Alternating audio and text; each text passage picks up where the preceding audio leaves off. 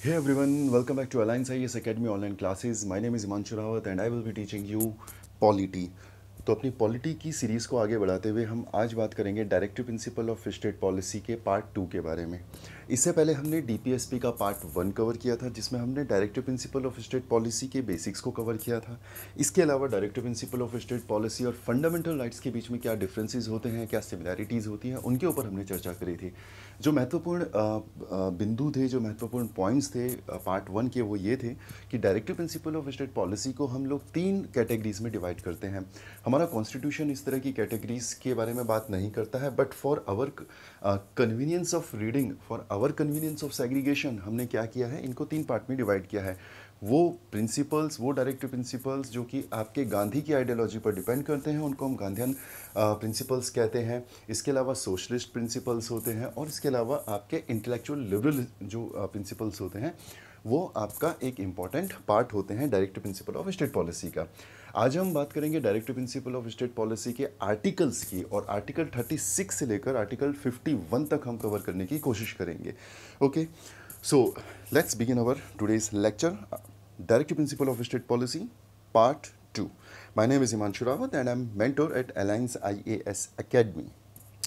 Okay, so article 36 देखो article 36 क्या कह रहा है? आर्टिकल 36 आपको डेफिनेशन ऑफ़ स्टेट बता रहा है। जब हम directive principle of state policy की बात करते हैं तो उसमें जो शब्द लिखा गया है, स्टेट, उसका मतलब क्या?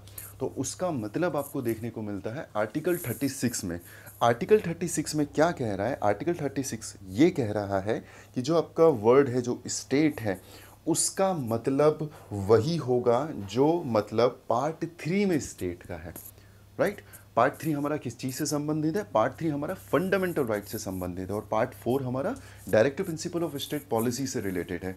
तो जो आपके फंडामेंटल राइट्स में जो स्टेट की डेफिनेशन दी गई है अंडर आर्टिकल ट्वेल्व वही जो डेफिनेशन है, उसी डेफिनेशन का इस्तेमाल आर्टिकल 36 में किया जाएगा। ना सिर्फ़ 36 में किया जाएगा, बल्कि 36 से लेकर 51 तक जहाँ जहाँ पर आपको शब्द मिलेगा देखने को स्टेट उस स्टेट का मतलब वही होगा जो आर्टिकल 12 में दिया गया है जो पार्ट थ्री में दिया गया है राइट right? तो so, नीचे आपको कमेंट बॉक्स में एक कमेंट करना है आपको लिखना है आर्टिकल 12 ओके आर्टिकल 12 में स्टेट की क्या डेफिनेशन है that you have to mention in the comment box I know you know what is article 12 but I want कि आप रेगुलर बेसिस पे रिपीटेडली जो है रिवीजन करें। तो पहला जो टास्क है आपका, वो ये है कि आपको नीचे कमेंट बॉक्स में आर्टिकल 12 के बारे में लिखना है।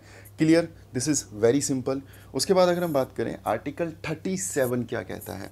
आर्टिकल 37 ये बोलता है कि जो प्रावधान हैं, जो डीपीएसपी में directive principle of state policy में, जो भी डायरेक्शंस जो दिए गए हैं those directions will not be enforceable in the court of law यह हमने अपने पार्ट वन में भी देखा था कि जो आपके directive principle of state policies जो होती हैं डी जो होती हैं, वो एनफोर्सिबल बाय लॉ नहीं होता।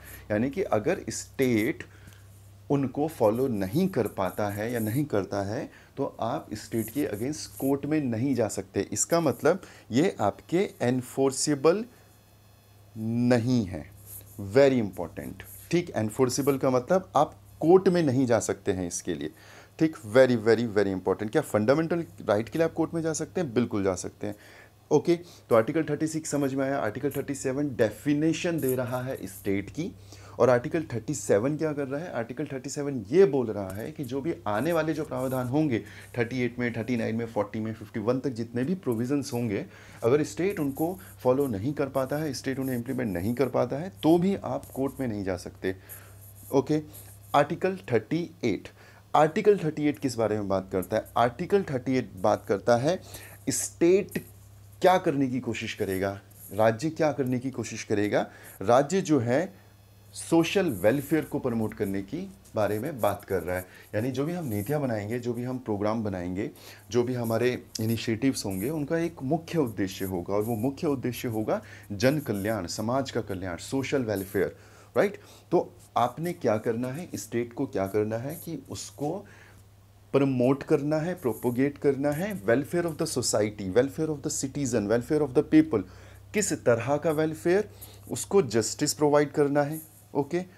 उसकी सामाजिक स्थिति को इम्प्रूव करना है, उसकी आर्थिक स्थिति को इम्प्रूव करना है और उसे पॉलिटिकली एम्पावर करना है।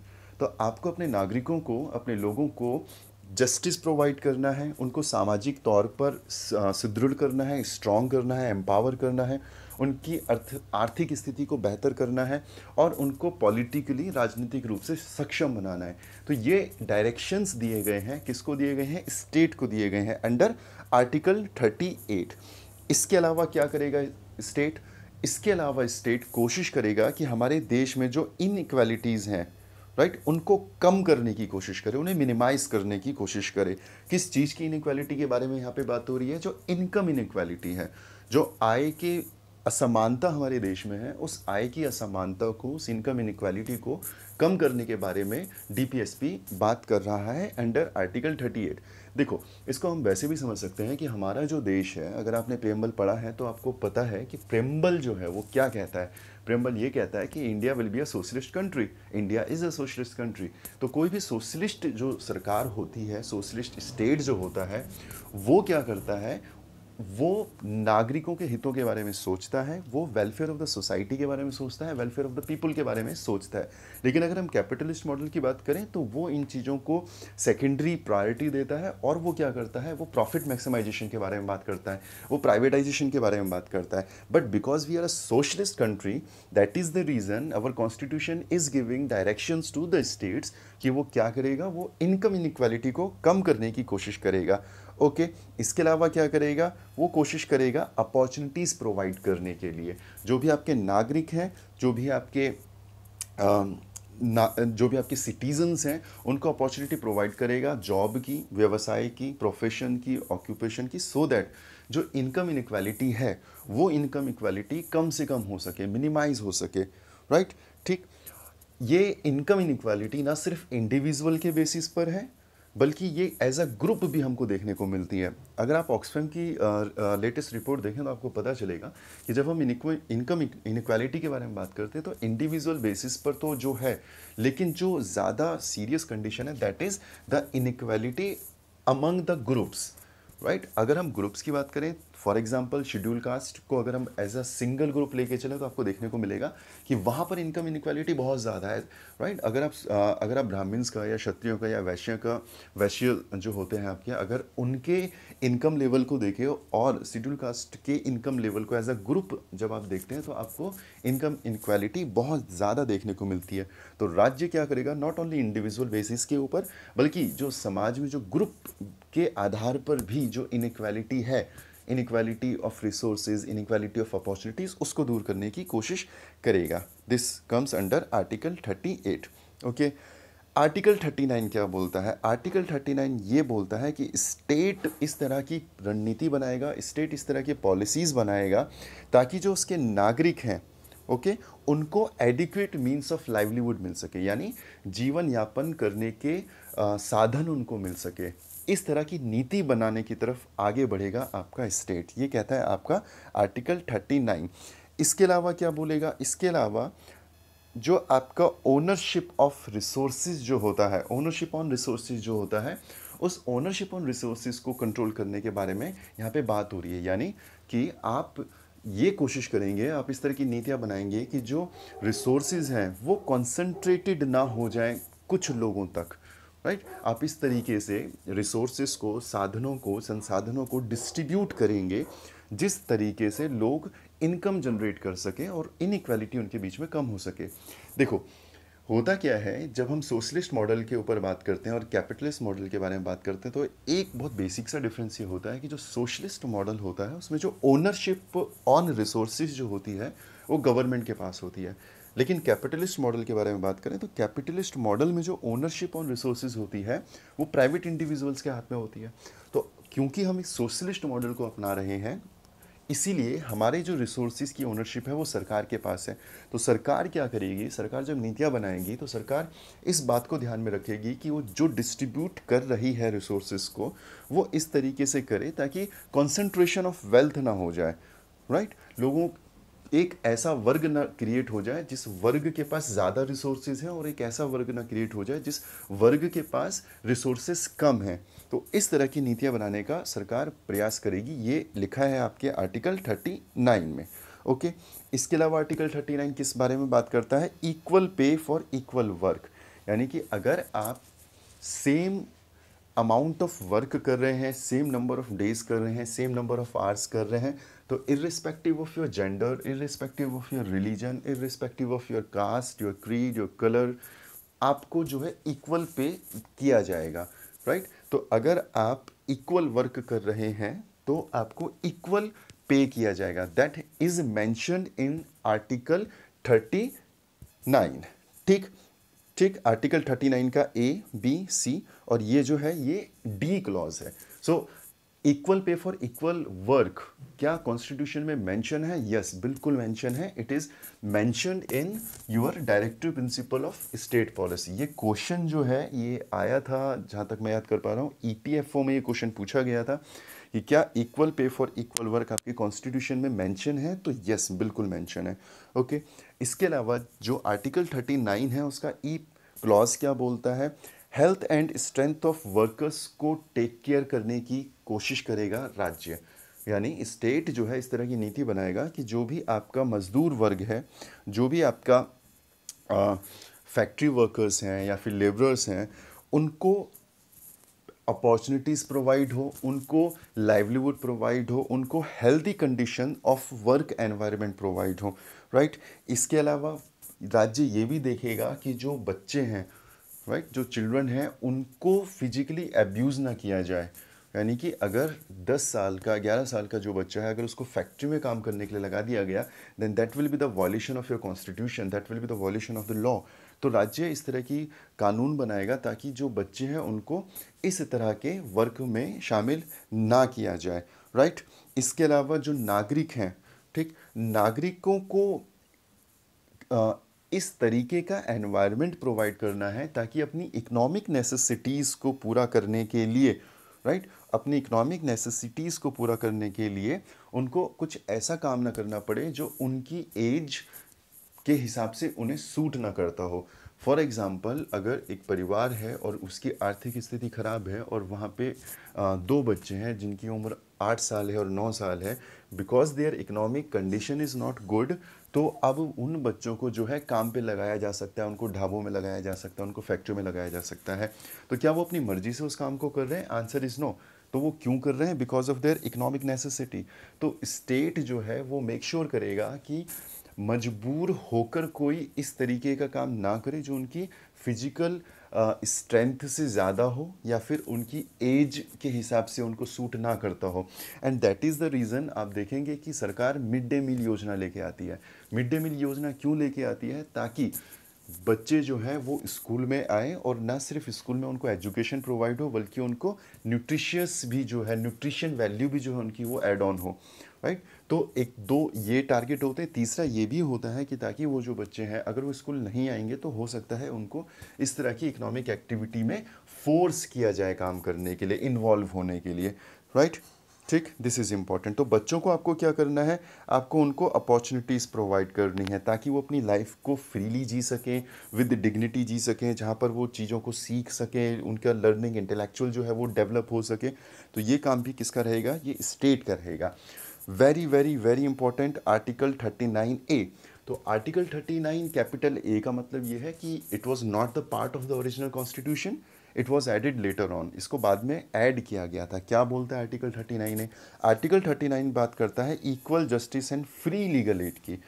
Equal justice and free legal aid और अगर आप देखेंगे तो ये आपके आर्टिकल 21 का भी पार्ट है।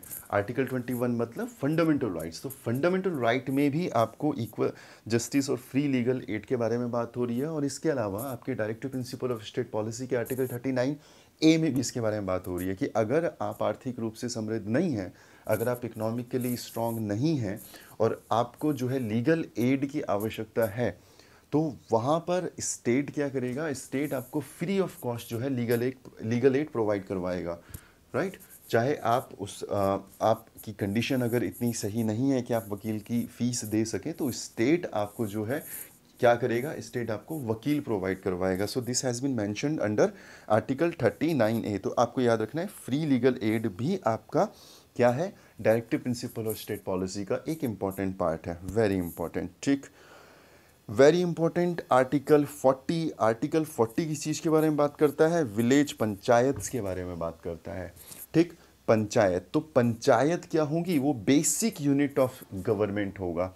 जो आपका बेसिक यूनिट जो जो सबसे निचला स्तर जो होता है सरकार का, वो होते हैं आपके पंचायत। राइट पंचायत या म्यूनसिपैलिटीज़ तो ऑर्गेनाइजेशन ऑफ़ विलेज पंचायत के बारे में कौन बात कर रहा है? आर्टिकल 40 बात कर रहा है। नीचे आपको कमेंट बॉक्स में एक और एक्सरसाइज जो है वो प्रैक्टिस करना है, वो ये कि जो भी आर्टिकल हम डिस्कस करेंगे, आपको पॉज लेना है और आपको नीचे आर्टिकल का नंबर लिखना है और उसके आगे आपको ये बताना है कि ये आर्टिकल जो है, क्या ये सोशलिस्ट प्रिंसिपल पे आधारित है, या फिर ये गांधीयन प्रिंसिपल पर आधारित है, या फिर ये इंटेलेक्चुअल लिबरल प्रिंसिपल के ऊपर आधारित है राइट आप इनिशियल्स भी लिख सकते हैं अगर आपको लगता है ये गांधी की विचारधारा से संबंधित है तो आप उसके आगे जी लिख दीजिए अदरवाइज़ एल लिख लीजिए एस लिख लीजिए, ठीक? तो ये हमने डिस्कस किया भी था आपकी पिछली वाली क्लास में कि आप कैसे आइडेंटिफाई करेंगे कि कोई पर्टिकुलर आर्टिकल जो है वो किस आइडियोलॉजी के ऊपर डिपेंड है? फॉर एग्ज़ाम्पल एक हिंट देता हूँ article forty organisation of village panchayat तो विलेज पंचायत के बारे में कौन इसके बारे में बात कर रहा था? किसका आइडिया था? कौन चाहता था कि हिंदुस्तान के गाँव जो है वो समृद्ध हों, वो ज़्यादा सेल्फ रूल्ड हों, वहाँ पे स्वशासन हो?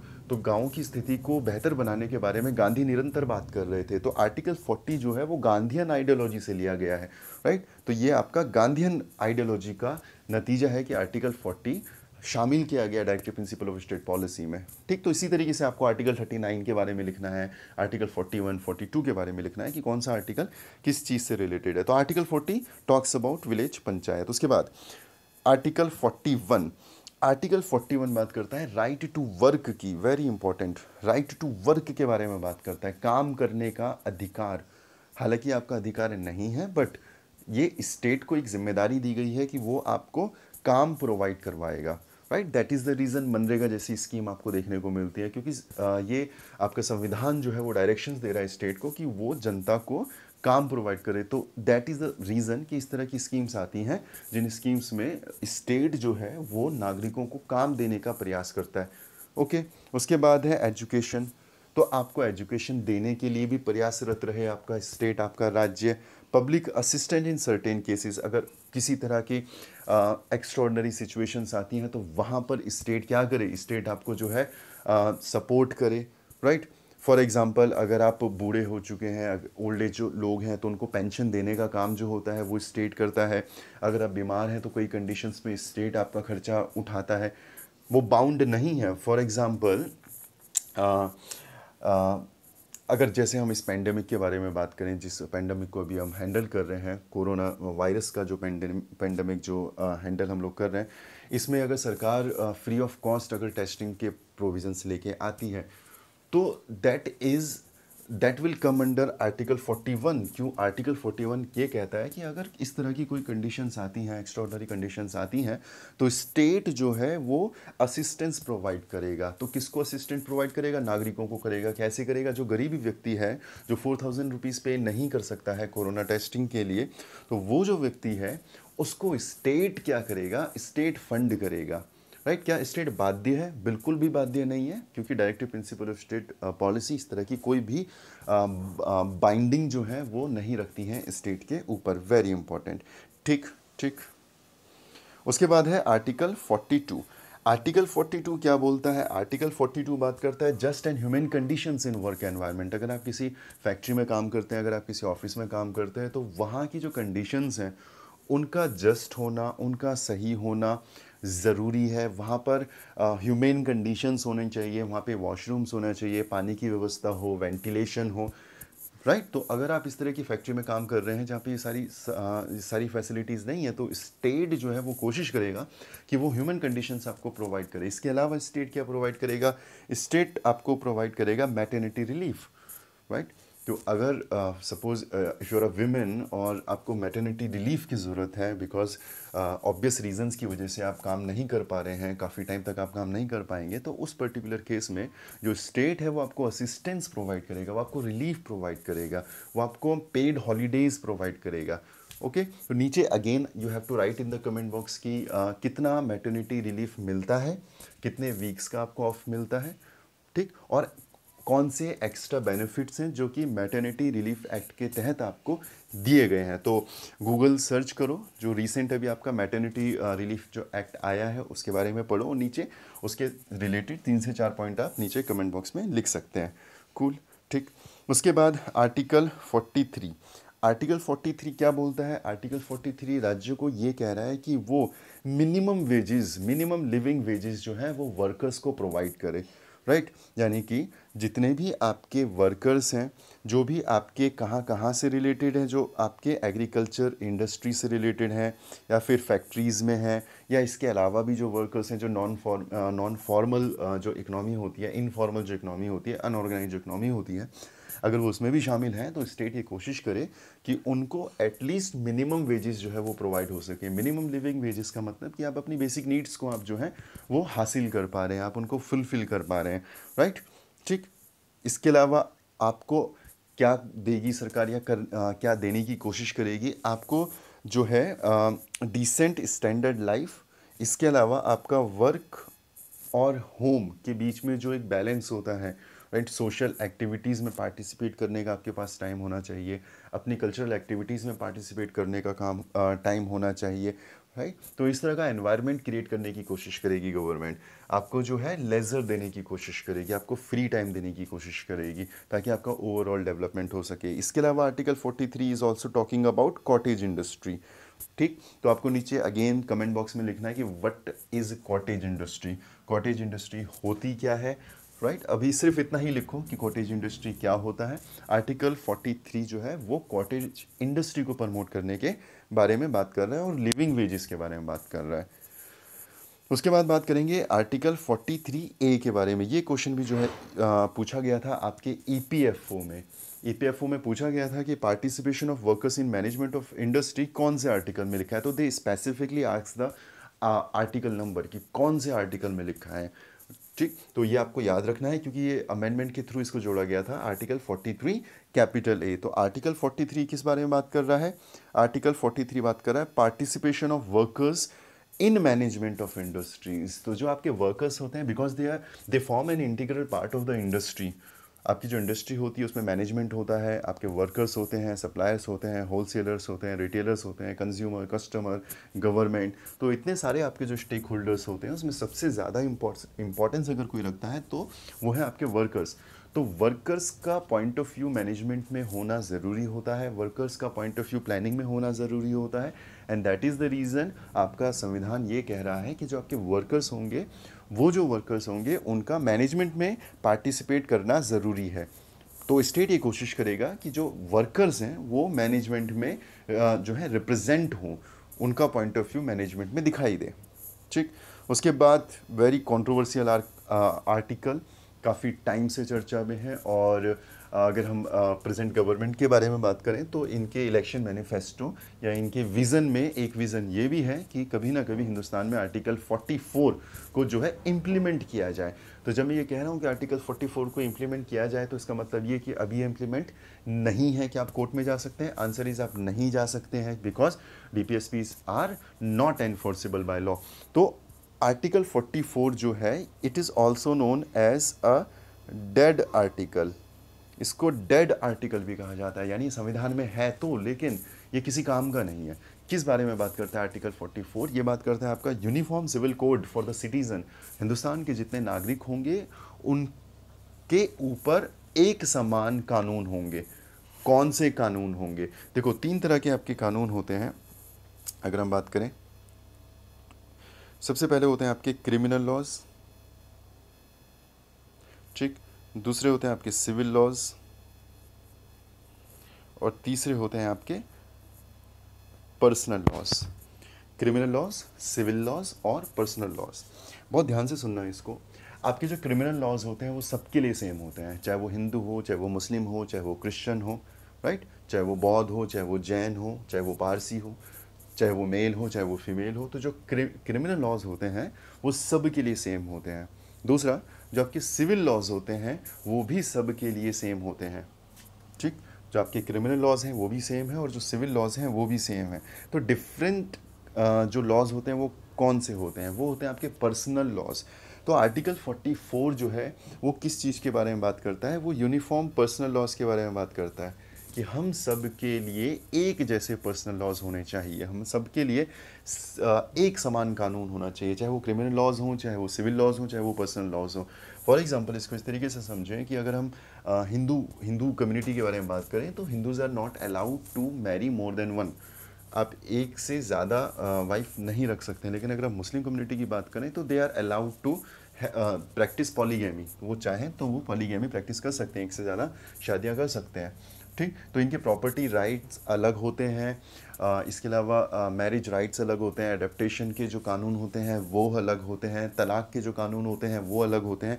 और कहीं ना कहीं आप देखेंगे ट्रिपल तलाक का जो मुद्दा चल रहा था तो आर्टिकल 44 जो है, ये काफ़ी ज़्यादा चर्चा पे चल रहा था। तो इसके पीछे कारण यही है कि एक बड़ा वर्ग है, जो कि डिमांड कर रहा है कि आर्टिकल फोर्टी को हिंदुस्तान में इम्प्लीमेंट किया जाए और एक जैसे कानून जो है, सबके लिए लागू किए जाएँ। ओके सो ये अपने आप में एक अलग टॉपिक है जो मेंस में पूछे जाने के काफ़ी ज़्यादा चांसेस होते हैं और एक दो बार पूछा भी गया है। इसके लिए हम एक अलग से पूरा जो है प्रेजेंटेशन तैयार करेंगे तो वहाँ पे इसके प्रोज एंड कॉन्स के बारे में बात करेंगे। अभी सिर्फ़ इतना जानते हैं आर्टिकल 44 यूनिफॉर्म सिविल कोड के बारे में बात करता है क्रिमिनल लॉज सिविल लॉज और पर्सनल लॉज और ये बात करता है एक समान पर्सनल लॉज की, क्योंकि क्रिमिनल लॉज और सिविल लॉज तो वैसे भी एक समान ऑलरेडी हैं। उसके बाद बात करेंगे आर्टिकल 45 की, ये हमने तब भी देखा था जब हम आर्टिकल 21 ए देख रहे थे। जब हम देख रहे थे राइट टू एजुकेशन आरटीई देख रहे थे। ठीक? तो आर्टिकल 45 बात करता है provision for free and compulsory education for children के बारे में।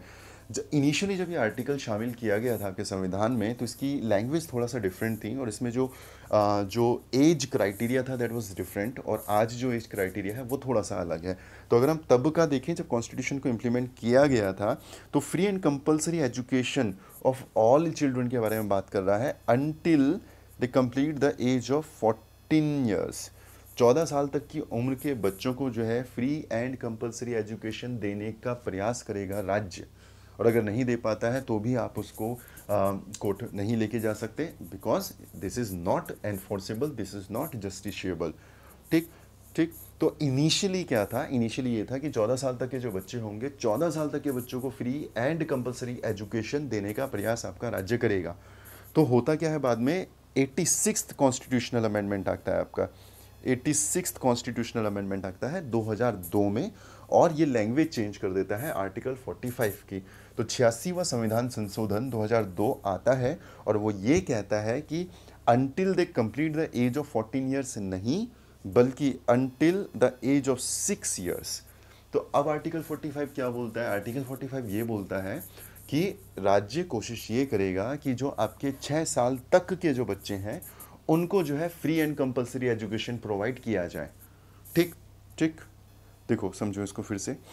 आर्टिकल 45 बात करेगा छः साल तक के बच्चों की ठीक आर्टिकल 21 ए जो है, वो बात कर रहा है आपके छः से लेकर चौदह साल तक के बच्चों की हुँ? हम्म? तो आर्टिकल 45 के तहत स्टेट ये कोशिश करेगा कि छः साल तक के बच्चों को free and compulsory education provide किया जाए और आर्टिकल 21 ए के तहत आपका नागरिक के पास ये फंडामेंटल राइट होगा किस चीज़ का राइट होगा? फ्री एंड कंपलसरी एजुकेशन का। तो आपका एक से लेकर छः हो गया और फिर छः से लेकर चौदह साल तक का हो गया।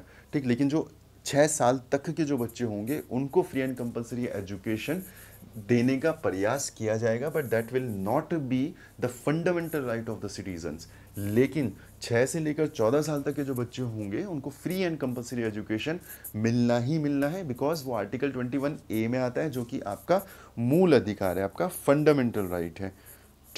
ये है आपका आर्टिकल 45 उसके बाद आर्टिकल 46 किस चीज़ के बारे में बात करता है? आर्टिकल 46 बात करता है आपके एजुकेशन एंड इकोनॉमिक इंटरेस्ट को बढ़ाने के बारे में, उनको प्रमोट करने के बारे में।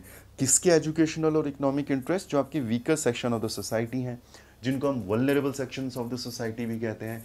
जब हम vulnerable sections of the society बोलते हैं तो उसमें कौन कौन आता है? उसमें सुप्री उसमें आपका आता है शेड्यूल कास्ट उसमें आपका शेड्यूल कास्ट आएगा शेड्यूल ट्राइब्स आता है विमेन आती हैं इसके अलावा चिल्ड्रन होते हैं फिजिकली डिसेबल जो लोग होते हैं, या फिर जो सीनियर सिटीजन्स होते हैं तो ये vulnerable section vulnerable sections of the society जो है, इसको एजुकेशनली और इनको, इनके इकोनॉमिक इनके आर्थिक हितों की रक्षा करने के बारे में आर्टिकल 46 बात कर रहा है। ठीक, उसके बाद बात होगी आर्टिकल 47 की। आर्टिकल 47 क्या बोलता है? आर्टिकल 47 ये बोलता है कि जो आपका पब्लिक है जो आपके लोग हैं जो आपका आ, समाज है वहाँ पर आपको लेवल ऑफ़ न्यूट्रिशन बढ़ाना है। ठीक? आपको इस तरह की खाद्य सामग्री प्रोवाइड करनी है अपनी जनता को कि उनको सही मात्रा में न्यूट्रिशन मिल सके और उस न्यूट्रिशन की वजह से जो हमारी जो पॉपुलेशन है, जो हमारी यंग पॉपुलेशन है, वो एसेट बने हमारी, ना कि लाइबिलिटी बनी। तो स्टेट कोशिश करेगा कि लेवल ऑफ़ न्यूट्रिशन को बढ़ाया जाए स्टैंडर्ड ऑफ़ लिविंग को बढ़ाया जाए, और आपकी जो पब्लिक हेल्थ है, यानी जो आपका पब्लिक जो हेल्थ सिस्टम है हेल्थ केयर जो सिस्टम है, उसको इम्प्रूव किया जाए, उसको एडवांस किया जाए, ताकि आपकी जनता फिज़िकली ठीक रहे मेंटली ठीक रहे हेल्थ वाइज ठीक रहे and your Janata your people will become asset for you not liability तो आर्टिकल 47 इस बारे में बात करता है न्यूट्रिशंस के बारे में बात करता है, ठीक? उसके बाद है आपका आर्टिकल 48 अगेन आर्टिकल 48 किस चीज़ के बारे में बात करेगा? एग्रीकल्चर के बारे में बात करेगा और एनिमल हस्बेंड्री के बारे में बात करेगा। तो आपका जो एग्रीकल्चर है, जो आपकी कृषि है, आपका जो एनिमल हस्बेंड्री है, जिसको पशुपालन कहा जाता है, उसको प्रमोट किया जाएगा मॉडर्न टर्म्स में साइंटिफिक टर्म्स में।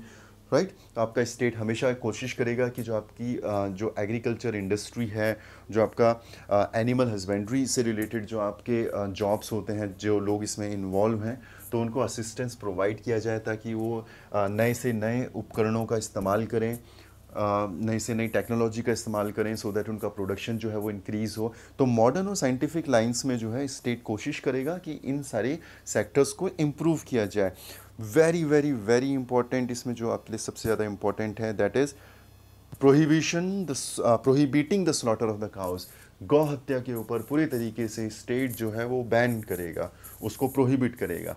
ठीक? तो गांधी चाहते थे एक्चुअली ये गांधीन फिलोसफी से ही लिया गया है तो गांधी चाहते थे गौ हत्या के ऊपर हिंदुस्तान में कंप्लीटली बैन लग दिया कर दिया जाए। लेकिन ये आ, कई सारे रीजंस की वजह से इसको पूर पूरी तरीके से इसको जो है बैन नहीं किया गया था। आपके अगर हम नॉर्थ ईस्ट स्टेट्स के बारे में बात करें या केरल के बारे में बात करें या कर्नाटक के बारे में बात करें तो वहाँ पे काव को कंज्यूम किया जाता है। ठीक तो कल्चरल टैग है काओ के ऊपर। अगर हम नदन इंडिया के बारे में बात करें तो नदन इंडिया में काओ को काफ़ी ज़्यादा रिस्पेक्ट से, काफ़ी ज़्यादा स्पिरिचुअलिटी से देखा जाता है। लेकिन अगर हम नदन ईस्टर्न स्टेट्स के बारे में बात करें साउथ इंडिया के बारे में बात करें तो वहाँ पे गाय की इम्पोर्टेंस उतनी नहीं है as compare to your northern parts तो बहुत सारे रिलीजियस डाइवर्सिफिकेशन की वजह से जोग्राफिकल डाइवर्सिफिकेशन की वजह से कल्चर की वजह से this was not practically possible कि काउ स्लॉटर को पूरे तरीके से प्रोहिबिट कर दिया जाए। तो गवर्नमेंट ने अकॉर्डिंगली उस तरह की स्कीम्स बनाई, उस तरह के प्रोग्राम बनाए। ठीक? तो अगर काउ को काउ स्लॉटर के ऊपर प्रोहिबिशन नहीं भी होता है तो क्या आप इस आ, आप कोर्ट में जा सकते हैं? Answer is no. नहीं जा सकते क्योंकि मैं बार बार ये बोल रहा हूँ कि एनफोर्सेबल नहीं है आपके डीपीएसपी जस्टिशिएबल नहीं है आपके डीपीएसपी ठीक दिस इज़ इम्पोर्टेंट उसके बाद है आर्टिकल 48 ए आर्टिकल 48 किस चीज़ के बारे में बात करेगा? एनवायरनमेंट के बारे में बात करेगा। 48 ए राइट तो इम्प्रूवमेंट ऑफ़ द एनवायरनमेंट के बारे में बात करेगा। एनवायरनमेंट कैसे इम्प्रूव होगा? जब जंगल नहीं काटे जाएँगे जब जंगल को प्रोटेक्ट किया जाएगा फॉरेस्ट को प्रोटेक्ट किया जाएगा, जब आप वाइल्ड लाइफ को प्रोटेक्ट करोगे, ठीक?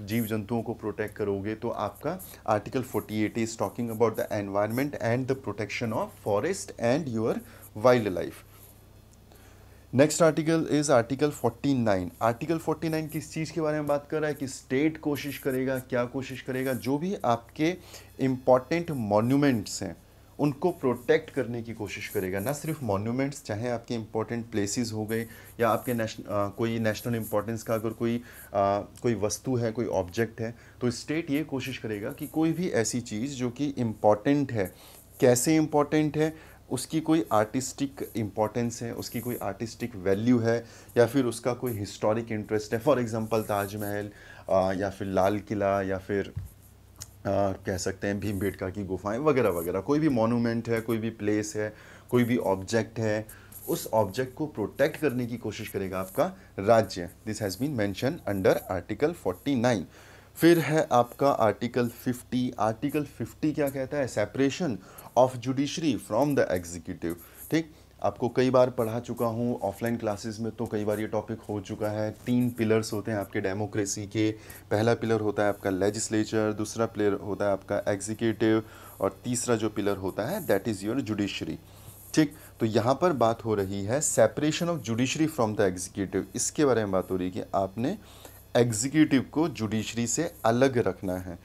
ठीक ये कॉन्सेप्चुअल टॉपिक है पूरा, इसमें हमको समझना होता है कि लेजिस्लेचर क्या होता है एग्जीक्यूटिव क्या होता है और जुडिशरी क्या होता है। और हमें क्यों ज़रूरत है कि हम एग्जीक्यूटिव को जुडिशरी से अलग रखें? ठीक? देखो यार इसको इस तरीके से समझो कि जो आपका एग्जीक्यूटिव होता है, वो आपका हेड अगर हम देखें फॉर एग्जांपल अगर हम एग्जीक्यूटिव का काम देखें तो एग्जीक्यूटिव का काम होता क्या है कि लेजिस्लेचर ने जो कानून बनाए हैं, उन कानून को इम्प्लीमेंट करेगा आपका एग्जीक्यूटिव ठीक? तो जब वो इम्प्लीमेंट करेगा चीज़ों को लेकर तो कई बार जो आपकी जनता होती है उनके इंटरेस्ट जो है वो टकराएँगे आपस में। फॉर एग्ज़ाम्पल अगर आपको सड़क बनानी है और एग्जीक्यूटिव डिसाइड करती है कि आपका जो घर है वो आ, उसको जो है एक्वायर कर दिया जाएगा और वहाँ से सड़क निकाली जाएगी तो आपके इंटरेस्ट जो है वो वायलेट हो रहे हैं। Then there is a possibility कि आप क्या करेंगे? आप जुडिशरी में जाएँगे और आप गवर्नमेंट के अगेंस्ट केस कर सकते हैं। फॉर एग्जांपल ठीक? यानी नागरिकों के हितों के बीच में और जो स्टेट है, जो एग्जीक्यूटिव है, उसके हितों के बीच में जब टकराव होता है तो आप जुडिशरी जा सकते हैं। तो आप किसके अगेंस्ट जा रहे हैं? आप जा रहे हैं एग्जीक्यूटिव के अगेंस्ट ठीक? तो आप एग्जीक्यूटिव के अगेंस्ट जा रहे हैं जुडिशरी तो अगर जुडिशरी सेपरेट नहीं होगा एग्जीक्यूटिव से, अगर एग्जीक्यूटिव और जुडिशरी अलग नहीं होंगे तो आपको लगता है क्या जुडिशरी को अनबायस डिसीज़न देगा। There is a very high possibility अगर एग्जीक्यूटिव और जुडिशरी एक होते हैं तो आप देखेंगे जुडिशरी हो सकता है आपके फेवर में डिसीज़न ना दे और वो एग्जीक्यूटिव के फेवर में decision they. And that is the reason our constitutional framers they envisage a kind of system जहाँ पर आपका एग्जीक्यूटिव आपके जुडिशरी से डिफरेंट होगा. ठीक, इसको बहुत आसान भाषा में मैंने अभी समझाने की कोशिश करी अदरवाइज़ ये अपने आप में फिर एक पूरा चैप्टर हो जाता है, जो हम आगे अभी पढ़ेंगे। बट इतना समझ लीजिए आर्टिकल 50 जो है, वो कॉन्स्टिट्यूशनली ये बात बोलता है कि एग्जीक्यूटिव और जुडिशरी को अलग होना पड़ेगा। नीचे आपको कमेंट बॉक्स में लिखना है कि जिस तरीके से हम एग्जीक्यूटिव और जुडिशरी को अलग करने के बारे में बात कर रहे हैं separation of judiciary from the executive के बारे में बात कर रहे हैं तो क्या वो कारण है जिस वजह से हम separation of legislature from executive नहीं कर सकते? तीन पार्टीज़ हैं यहाँ पर लेजिस्लेटिव एग्जीक्यूटिव और आपका जुडिशरी तो आर्टिकल 50 एग्जीक्यूटिव और जुडिशरी के तो अलग होने के बारे में बात कर रहा है, लेकिन वो लेजिस्लेचर के और एग्जीक्यूटिव के अलग होने के बारे में बात क्यों नहीं कर रहा है? ठीक तो नीचे आपको दो से तीन लाइनों में आंसर लिखना है। तो this was your article fifty उसके बाद है आपका आर्टिकल 51 आर्टिकल 51 जो है वो बात करते हैं आपके इंटरनेशनल पीस एंड सिक्योरिटी को मेंटेन करने के बारे में। ठीक? आर्टिकल 51 क्या कह रहा है? आर्टिकल 51 बोल रहा है कि आपको, यानी स्टेट को प्रमोट करना है international peace and security maintain करने हैं, अच्छे रिलेशनशिप किसके साथ? जो आपके नेशंस हैं। Recognise by the United Nations okay इसके अलावा आपको क्या करना है? इंटरनेशनल लॉस को फॉलो करना है प्रैक्टिस करना है। और अगर आप किसी इंटरनेशनल ट्रीटी को साइन करते हैं, आप उसको रेटिफाई करते हैं तो आपको उस ट्रीटी ऑब्लिगेशंस को भी फॉलो करना है, राइट right? इसके अलावा आप कोशिश करेंगे कि जितने भी आपके डिस्प्यूट चल रहे हैं, इंटरनेशनल डिस्प्यूट चल रहे हैं, उनका जो समाधान निकले, वो बातचीत से निकले, वो आर्बिट्रेशन से निकले, या आप हार्ड पावर का यूज़ ना करें, आप सॉफ्ट पावर का यूज़ करें। सॉफ्ट पावर मतलब आप अपने कल्चरल रिलेशनशिप का इस्तेमाल करें, आप डिप्लोमेसी का इस्तेमाल करें you should not use your hard power hard power जैसे कि आप सैनिक का इस्तेमाल ना करें, आप सैनिकों का इस्तेमाल ना करें, आप आर्मी का इस्तेमाल ना करें, आप फोर्स का इस्तेमाल ना करें। ठीक? तो ये आपका आर्टिकल फिफ्टी बात कर रहा है। Okay so this is it this was all about directive principle of state policy दोनों पार्ट को कंटिन्यूशन में देखने की कोशिश करिएगा। दो दिन का शायद गैप रह गया था पहले पार्ट और दूसरे पार्ट के बीच में। आ, लेकिन आप दोनों वीडियोस को एक साथ जब देखेंगे तो आपको directive principle of state policy ज़्यादा बेहतर तरीके से समझ में आएगा। और अगर किसी भी तरह का कोई कन्फ्यूज़न रह जाता है आ, दो तीन टॉपिक हैं जो जो नए लोग हैं जो जिनको थोड़ा सा पॉलिटी का कम आइडिया उनको समझने में थोड़ा सा मुश्किल होगा। आर्टिकल 44 और दूसरा है आपका आर्टिकल 50 इसके अलावा जहाँ तक बाकी आर्टिकल्स की बात करें तो फैक्चुअली नेचर के थे, ज़्यादा कॉन्सेप्ट उसमें थे नहीं तो आर्टिकल 44 और आर्टिकल 50 जो है, अपने आप एक बड़े टॉपिक है, इनको फिर कभी कवर करने की कोशिश करेंगे राइट right? तो जो भी मैंने आपको एक्टिविटीज़ बोली हैं करने के लिए नीचे you have to do those activities आपका रिविज़न चलता रहेगा, आप इन्वॉल्व होंगे इन सारी प्रैक्टिस में और there is a very high possibility कि you may encounter you may get this kind of question in your prelims in your coming prelims of U P S C या फिर सी डी एस का exam या फिर C A P F का exam अभी आपका होने वाला है होपफुली और चाहे आपका उत्तराखंड के एग्ज़ाम हो गए तो कहीं भी बात करें तो पॉलिटिक्स से रिलेटेड जो भी क्वेश्चन आएगा, वो इन्हीं नोट्स में से आएगा जो हम कवर कर रहे हैं, इससे बाहर नहीं आने वाला। हम काफ़ी ज़्यादा डीप में डिस्कस कर रहे हैं, ठीक? सो so, अगर आपको और भी कोई क्वेरी है तो आप मुझे मैसेज कर सकते हैं। नीचे स्लाइड्स में कॉन्टैक्ट नंबर दिया है या फिर आप नीचे कमेंट बॉक्स में भी अपनी क्वेरी डाल सकते हैं। So thank you so much thanks a bunch from A I A alliance I S academy Rishikesh take care and thank you thank you thank you so much God bless you all.